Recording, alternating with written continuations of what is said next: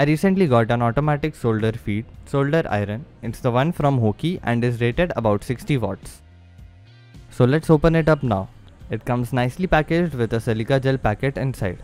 Looking at the construction, we can see it's a wounded heating element with a screw mounted tip. It's pretty handy if you want to customize the tip or use the element for different purposes. Then we can see there is an separate tube going to the tip that is for the solder feed. The plug is a standard 2 pin plug and the wire is not that thick too. I would have expected the wire to be this thin because at 60 watts the current flowing is not that much. There is a gun style button to move the solder forward. We will take a look at the mechanism in a bit. Let's calculate that. Power is equal to voltage times current. So 60 is equal to 240 volts here in India times the current. So current will be 60 divided by 240 which is 0.25 amps. So the wires are not needed to be that thick.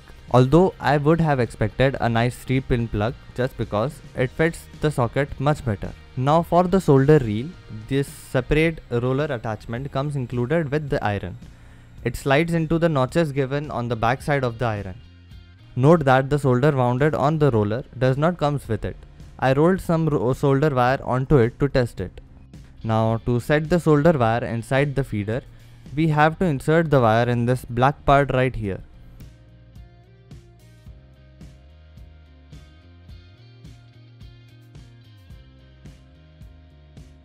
Keep inserting it until you feel it's not going in anymore. Then press the and hold the black part. Then insert the wire till it comes out from the tube near the tip. Then we can use the button to move the wire forward. So basically the setup is done.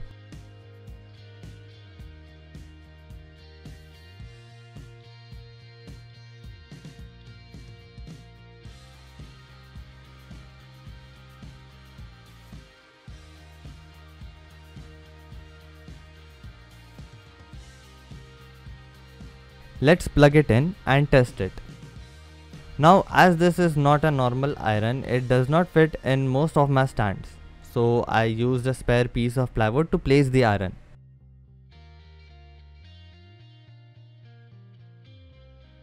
We want to place the iron because this iron takes a lot of time to heat up, like a minute or two. So let's keep the iron and wait. We see some smoke from the tip. So the tip is heated up enough to melt the solder.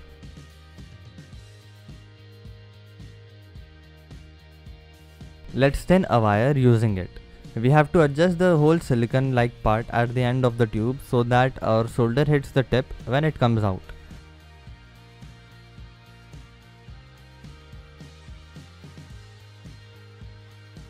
But once adjusted it works quite well.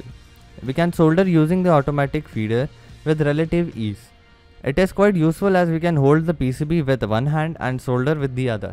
Tinning the tracks is also quite easy.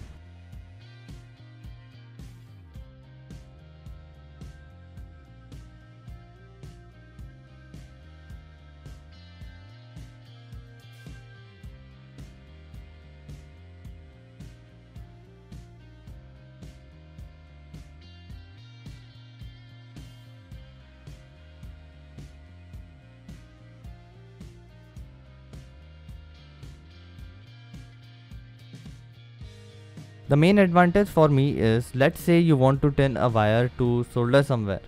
With two hands you cannot hold the wire, the iron and the solder all together. It gets very uncomfortable. So by using the automatic solder feed, we can tin wires easily and with good speed. So then the Hoki automatic feed iron is quite useful in certain situations. But is it worth its price of about 1000 rupees? I would say it's doubtful.